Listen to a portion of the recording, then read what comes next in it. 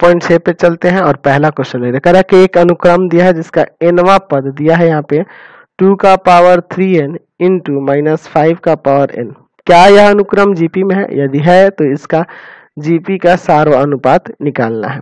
सार्व अनुपात निकालना चलिए ना, पहले दो, कम से कम तीन पद इसमें निकालेंगे एन बराबर वन पर टू पर और थ्री पर।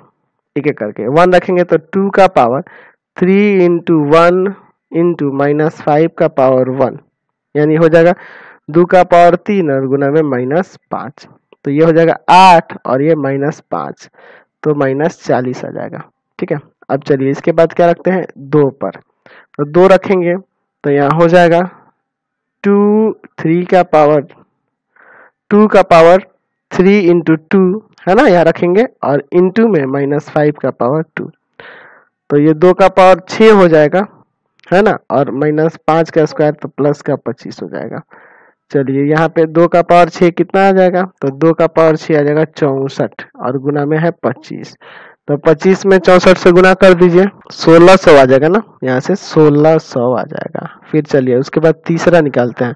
तो टू का power three into three into minus five का पावर थ्री ये ना होगा?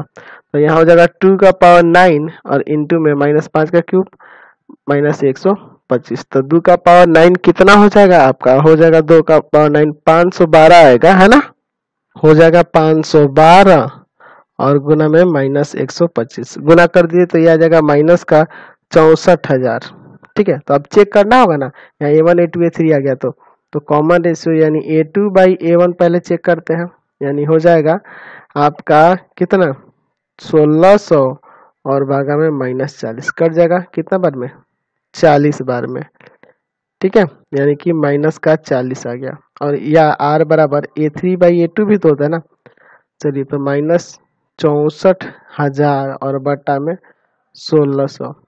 दो गो ज़ीरो, दो गो ज़ीरो कर गया, सोलह चौका चौसठ। चालीस यहाँ भी आ गया माइनस चालीस। तो दोनों जगह सारो अंतर जो है, सारो अनुपात जो है सेम आ गया।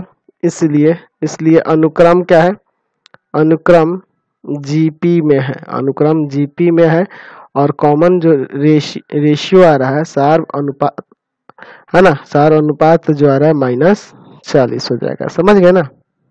Question number